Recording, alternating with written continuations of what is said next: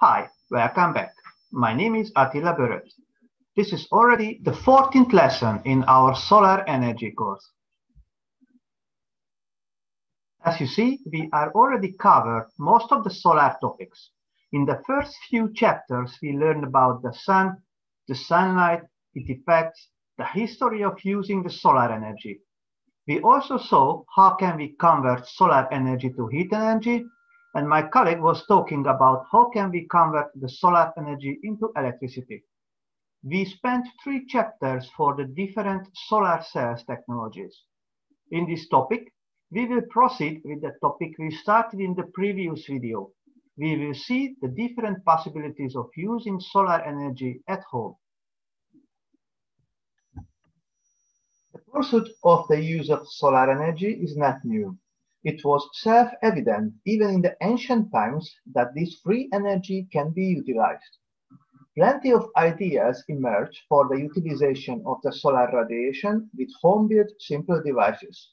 In these two videos, I show you some of this equipment, but only those that have been proven to be easy to make, don't cost a lot of money, and can be useful accessories for our home. So I will explain in detail how can you build a solar bottle bulb, a solar food dryer, and some type of solar cooker.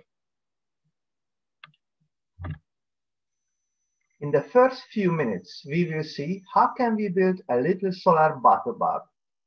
In one of the last video, I mentioned a similar but much more expensive device, the sun pipe, which can be seen in the left side of the slide but the DIY bottle bulb can be helpful in the cases where this expensive device is not suitable.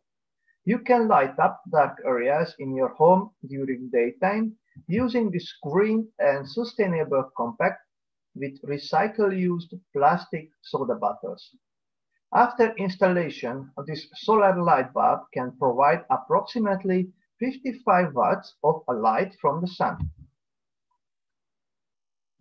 You need just a few materials for completing this idea. You need a PET soda bottle, a galvanized iron sheet, some rubber sealant, and for the liquid, bleach and filtered water. Depending the roof material, you will need a piece from it because you don't want to look it different. On the picture, the roof material is a GI sheet so cut approximately 9 times 10 inches of GI sheet, coagulated flat. It should be the same as the roof. At the center of the GI sheet, draw two circles as you see on the photo. After that, cut the inner circle and cut the one centimeter difference radially, making strips and bend upwards, perpendicular the GI sheet. Here you see the step 4. Using sandpaper, scratch the surface around the upper third portion of the soda bottle where the GI sheet will be placed to allow the rubber sealant to stick better. After cleaning it, insert the bottle into the GI sheet until the upper third, as you see on the picture. Then apply rubber sealant on the strips above and around the area below. Wait a few hours at least to let it dry. As the step 6, fill the soda bottle with filtered water and around 10 millimeter two capfuls of bleach. Cover it with its original cap. The next step is installing it into the roof. First cut a hole on the roof Similar to the bottle circumference, place the solar bottle bulb into the hole. Make sure it is firmly in place. Then drill four holes into the sheet on each side of the solar bottle bulb. After that, apply rubber sealant around the edges of the GI sheet of the solar bottle bulb to avoid leakage. Make sure to cover the rivets also. And as a final step, place a protective plastic tube on the bottle cap and apply some rubber sealant. Drying is an excellent way to preserve produce, but exposing fruits and vegetables to direct light can cause vitamin loss. The design on this slide relies on indirect solar power, meaning the drying food is not exposed to the sun, but instead to solar heat the air. The solar dryer takes advantage of the natural process of rising hot air to operate effectively without any electric fans. As you can see in the detailed drawing, the design includes a long angled wooden box covered with clear plastic glazing and an open button end for air intake. Inside, the box holds diagonal layers of black metal screen. The vertical drying chamber on the top has a back door to access food drying trays inside. The sun's radiation passes through the plastic top of the collector box to the absorber screens, which retain heat. Air entering through the intake is warm as it passes over the absorber screens and then flows into the drying chamber. There, the heated air draws out the food's moisture before exiting through the vents just below the roof. The rising warm air creates a negative pressure at the bottom of the collector box, which draws in more outside air to replace the air that left through the top vents. Air will continue to heat and rise, passing through the collector box and into the drying chamber, as long as the sun is shining or the dryer has access to another source of heat. As you see, this drying chamber of this dehydrator supports 11 trays to hold up to 10 pounds of tiny sliced food, about 35 to 40 medium-sized apples for reference. It can dry this amount of food in two sunny days, or about half this amount of food in one sunny day because of better ventilation and reduced food mass. The temperature inside the chamber can easily soar to more than 60 degrees Celsius. On this slide, you can see the material and tool list which is required for preparing this dryer. As you see, this takes a bit more time to build than the previous items we covered until now, and also much more material to buy. But that is why I put it in this second DIY video. You need plywood, which is exterior grade for the trays, food grade screening, and a lot of other things, but I don't want to make the list too long, so I don't read it all.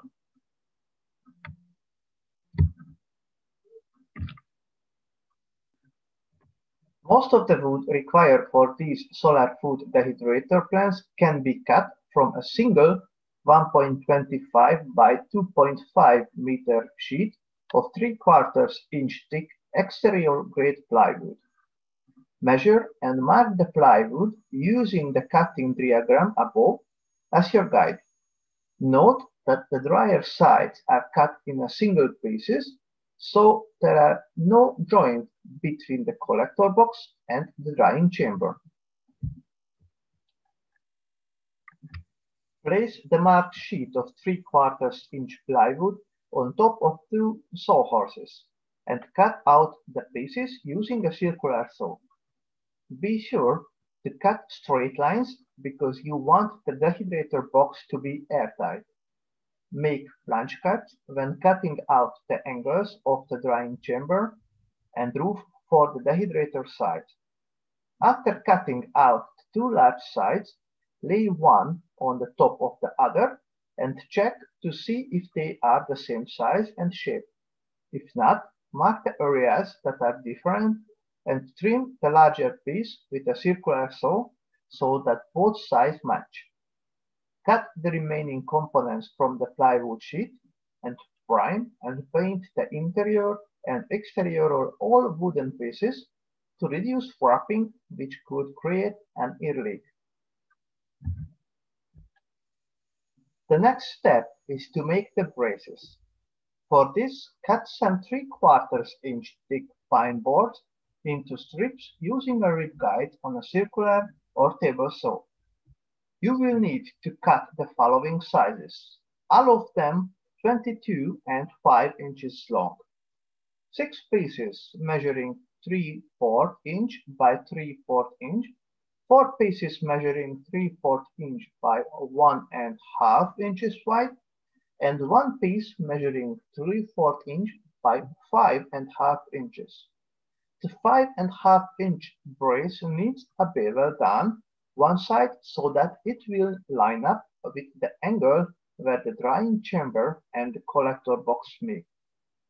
You can cut this bevel with a circular saw adjusted to a 116 degree.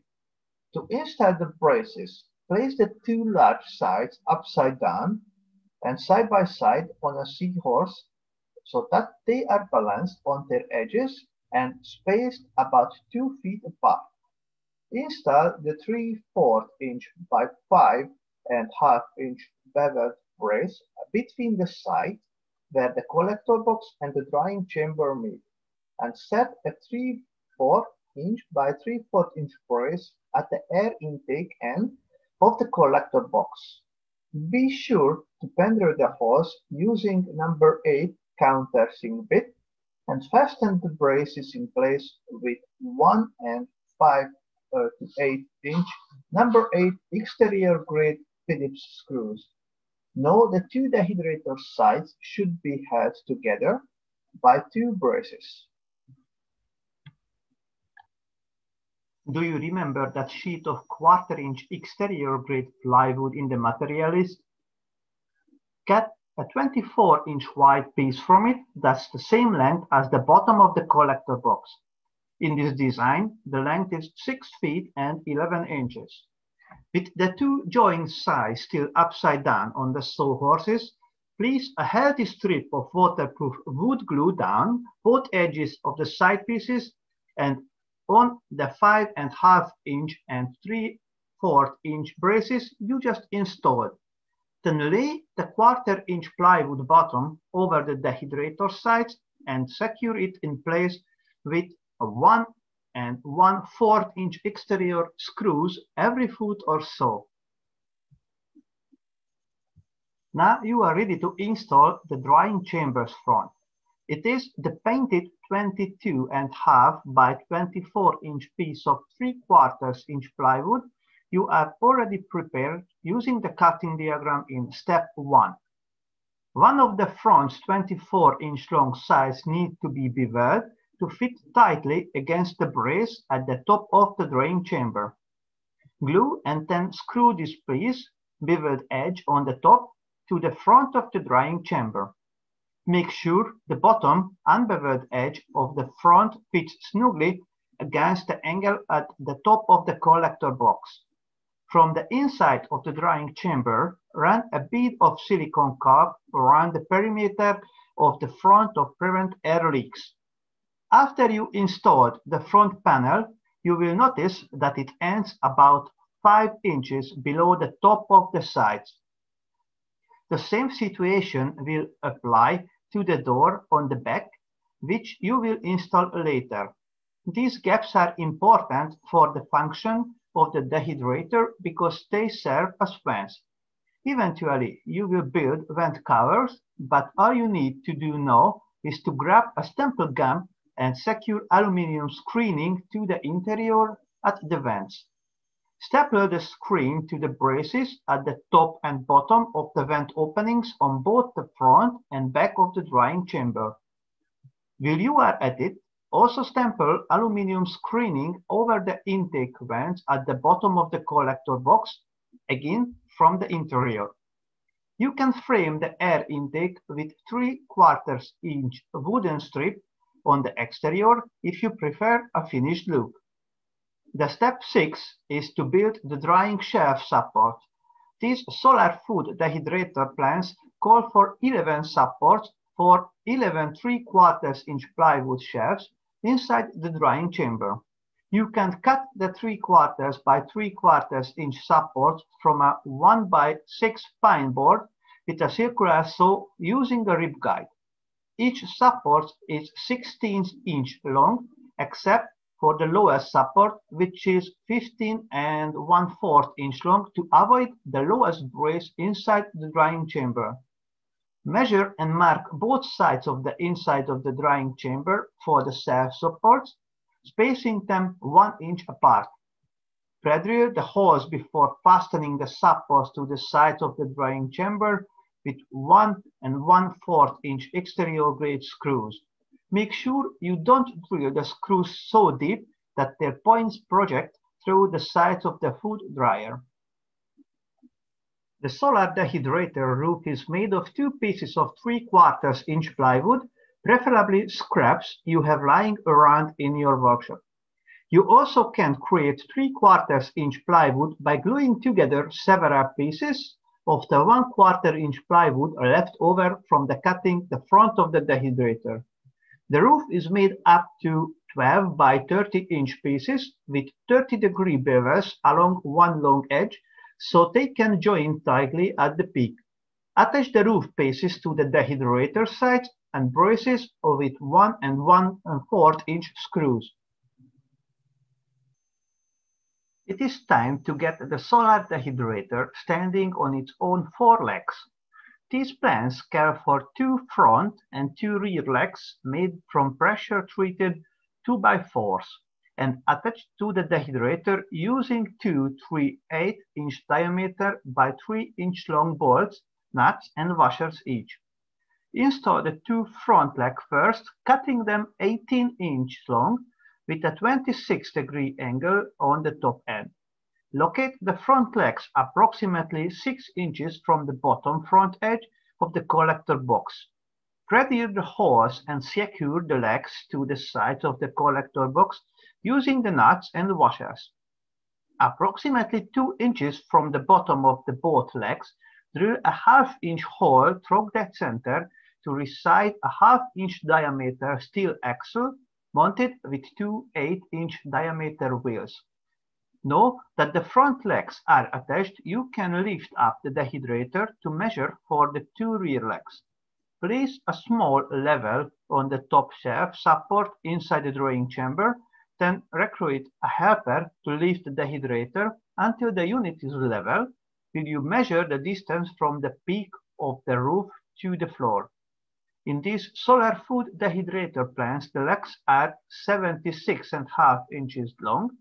When preparing the rig legs, cut 30 degree angles from the centers of both 2 by 4s on the top end, so the legs will fit snugly to the roof of the dehydrator. As you are bolting the rear legs to the drying chamber, take care to the bolts won't interfere with the operation of the shelves. This dehydrator design calls for vents at the top of the drying chamber on both the front and back, just below the roof. These vents are essential for effective operation of the food dryer. As cool air enters the intake at the bottom and become heated in the collection chamber, it must rise into the drying chamber where it absorbs moisture from the food before exiting through the upper vents. You have already stamped aluminum screens to the inside of the vent openings. Now you need to make vent covers to help control airflow when you are drying food. You will remember marking and cutting four, five and a half inch wide and 12 inch long vent covers when you followed the cutting diagram for the sheet of 3 quarter inch plywood in step 1. Grab a pair of these covers and prepare them for installation on the front of the dehydrator by cutting a 30 degree bevel along one of the long edges of each one. The front vent covers should be installed with the beveled edge and on the top, where it will have the covers fit tightly against the slant of the roof.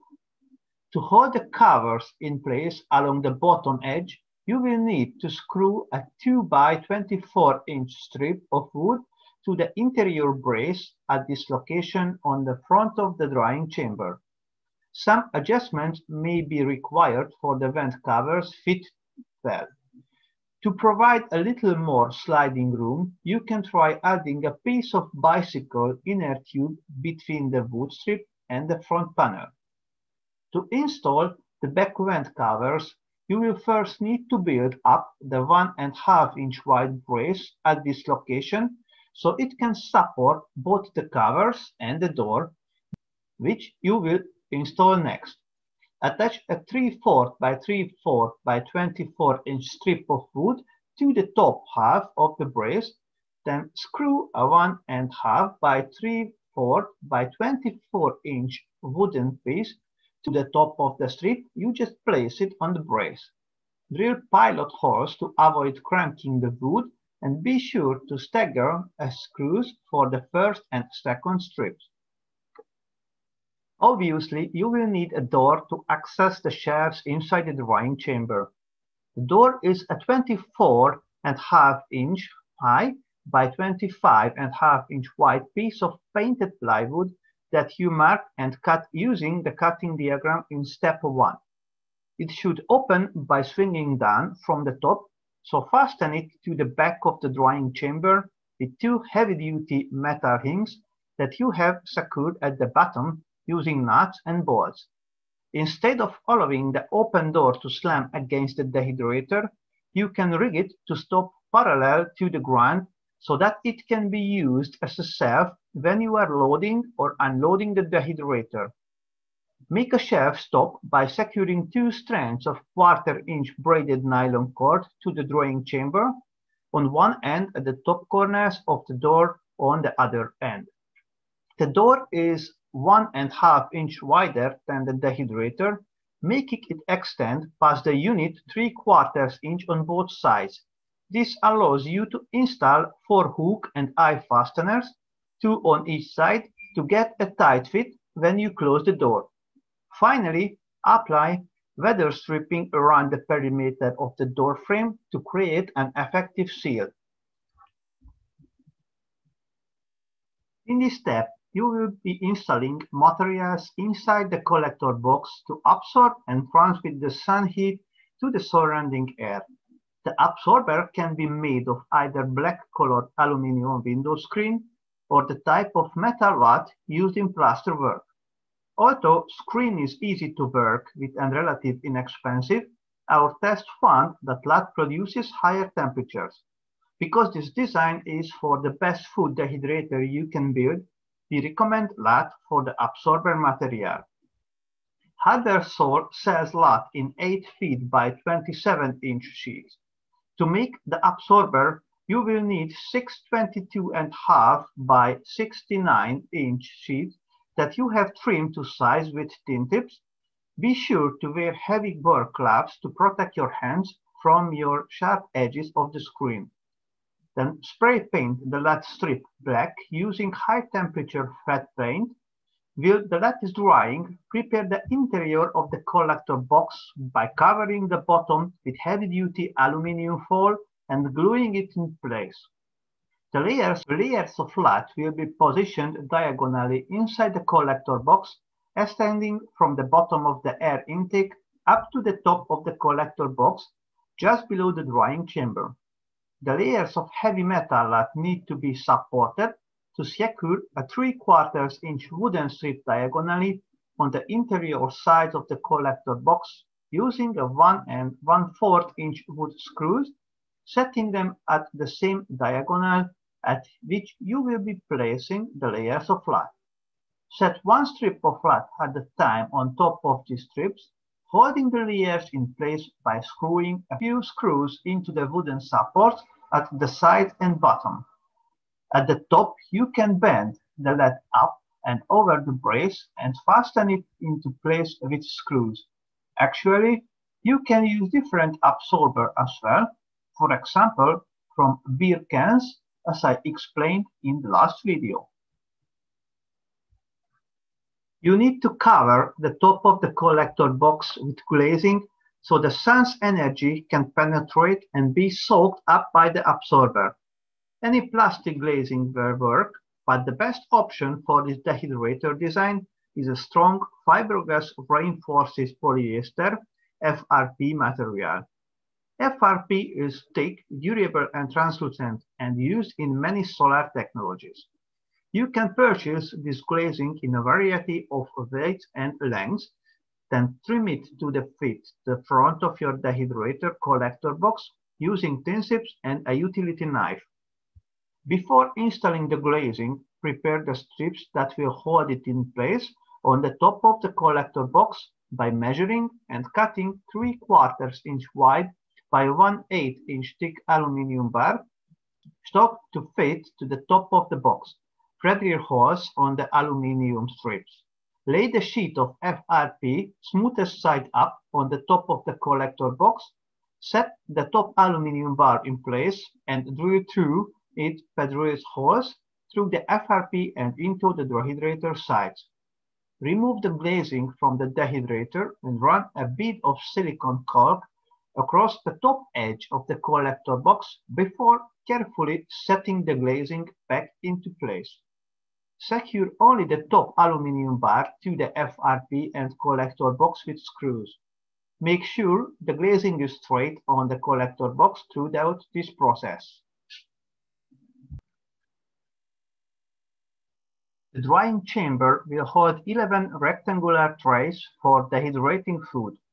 You will want to build trays with wooden frames that will stand up to lots of use, but with screened bottom so air can circulate around the drying food. Use four 1 by 6 to make the frame components. Cut two of these boards into 22 and 1 4 inch lengths and the other two into pieces measuring 16 inch long. Use a router with a 3 quarters inch straight bit and cutting guide to carve the 3 8 inch deep rabbet on one side of both ends of every piece. Then rip all the boards into 3 quarters inch wide strips using a table saw on a circular saw with a rip fence attached. You should now have 22 pieces measuring 22 and 1 4 inches long and 22 more pieces at 16 inch long, all of them 3 quarters inch thick and with rabbeted ends. Your next step is to assemble the frames so they are perfectly square. Use a framing square to set up a jig and lay out the square up to 22 and 1 4 inch long pieces and two 16 inch long pieces into a frame.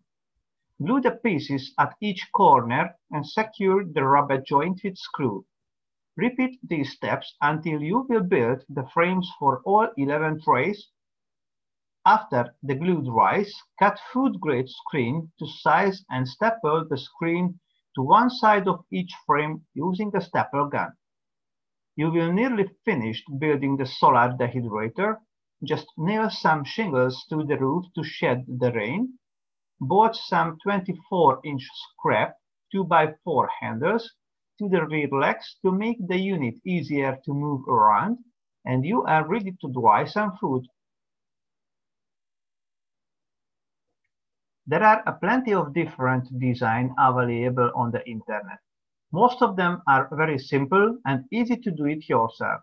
As you see on this slide, this is a not so complicated version than the previously detailed one. If you're interested in to build it, you can find more detailed information on the given website. There is a great need for solar cookers in hot, underdeveloped or developed nations of the world, mainly to save firewood and to reduce deforestation. It is a perfect idea in the rural folk in very poor nations where electricity, gas are not available. Excellent design are available for making your own cookers. There are two main type of it, the box or flat panel type solar cooker and the parabolic solar cooker. I will show you examples of both you can do it yourself. First, we will build the easier one, the box cooker. In one of my previous video, I was talking about it.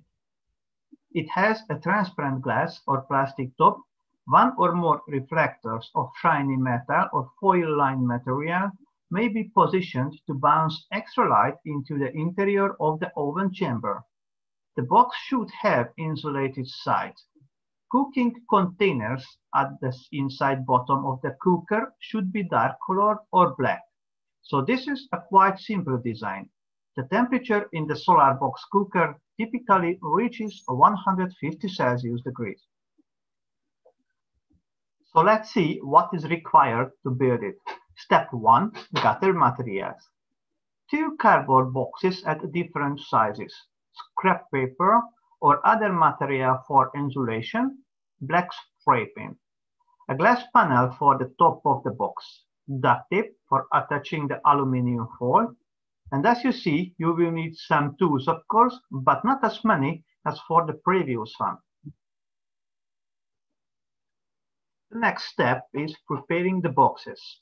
A shallow tray with less depth is better than the box with great depth in your box. This reduces sideboard area.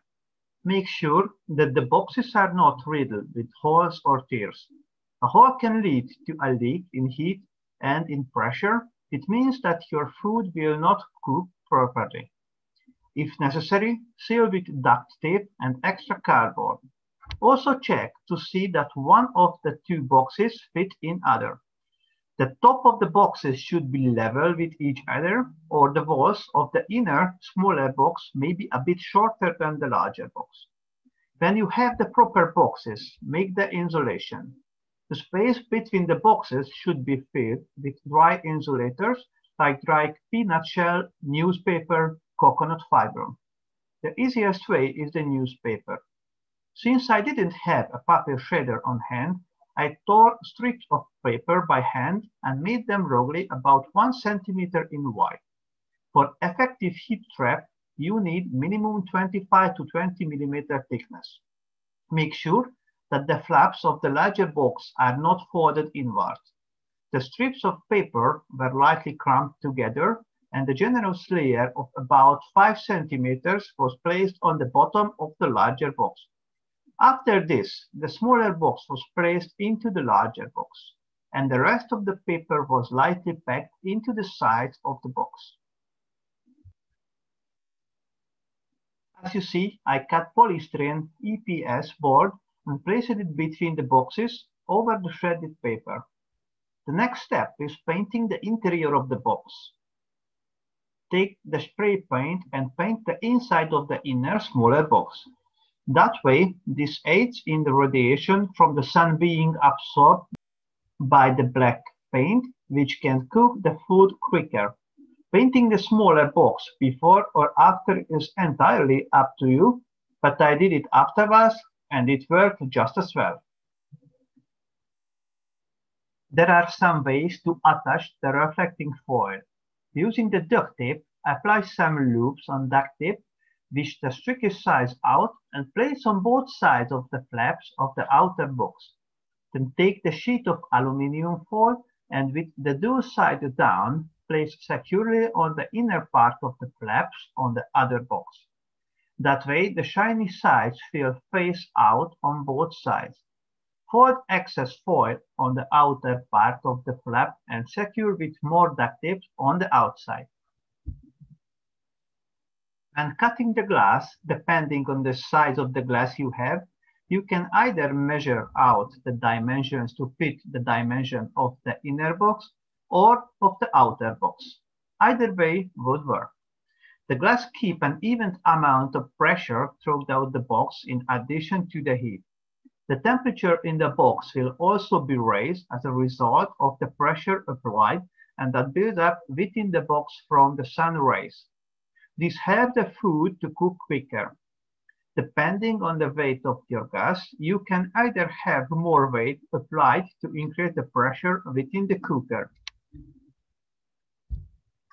Place the cut glass on the top of the box and you are done. But there are some tricks for better result. Use aluminium or steel tray.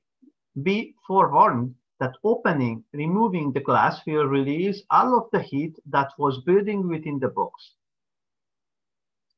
If checking the temperature of the food, please make sure that you are absolutely sure that it's ready to be checked. Otherwise, you will have to wait again for the pressure and heat to build up again. Tilting the box or slant face is needed for latitude greater than 15 degrees. For a family of three or four persons, you will need a box of at least 4 square feet collector's area. Box cookers collect both direct and diffuse solar rays and therefore they are good by cloudy skies as well. Preheat the box cookers by keeping it in the sun from 9 am before placing the pots in it. Keep your cook protected from the wind. Keep a matte black sheet plate to absorber at the bottom. This is important to absorb all the heat and transfer it to the pots. The other type of solar cooker is the parabolic cooker. It operates much like a magnifying glass does in the sun. Sunlight falling through a magnifier can create enough heat to start a fire. The cooker uses the dish shape to capture and concentrate the, the UV rays of the sun much like a magnifying glass does. The result is a cooking area that works very well. On this slide, you see what you need for this type of solar cooker. So find an old dish or just get the one from your neighbor's house. Buy a roll of mirror foil decal or a roll of shed adhesive chrome foil. You need some thick iron wire and screws or a copper plate to make a little platform to hold a pan, water kettle, or a coffee maker. The first step is preparing the dish. So remove all electronics, cables, and the antenna head. It is important to begin by cleaning the dish thoroughly a wire brush or a low grit sanding paper will do the nice job and roughen the surface for the glue. Then clean it and as a step two, attach the foil smoothly on the dish. Or in case you have an aluminium dish like I have, just remove the paint and polish it. Not a short task, but it is worth to do it.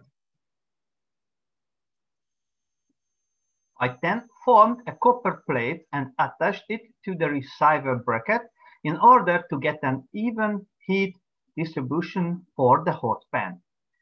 You will need to have a sturdy base that can hold the dish without tipping over. This can be a square wooden or two or more short planks of wood fastened together. It is critical that your hanging pot be positioned so the focused reflection of the solar cooker strikes the center of the bottom of your pot. Your cooker should be at 90 degrees angle to the sun. During the day, as the sun crosses the sky, you will need to rotate your parabolic dish to keep the sun's energy focused on the bottom of the pot where the heat is needed. So cooking requires your presence as it needs realignment every 30 to 45 minutes to be effective. I adjusted the focal point balancing on the base of bricks but you can use the original tilting mechanism of the satellite dish.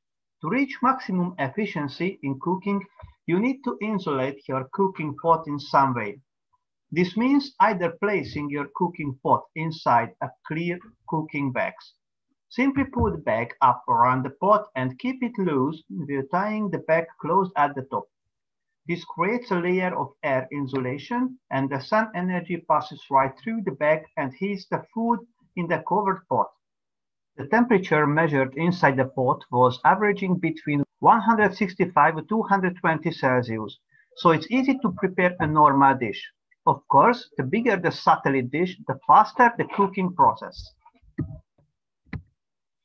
Today, we were talking about some simple design you can do it yourself. This makes fun and possibly reducing the electric bill. Thanks for watching. Bye. No.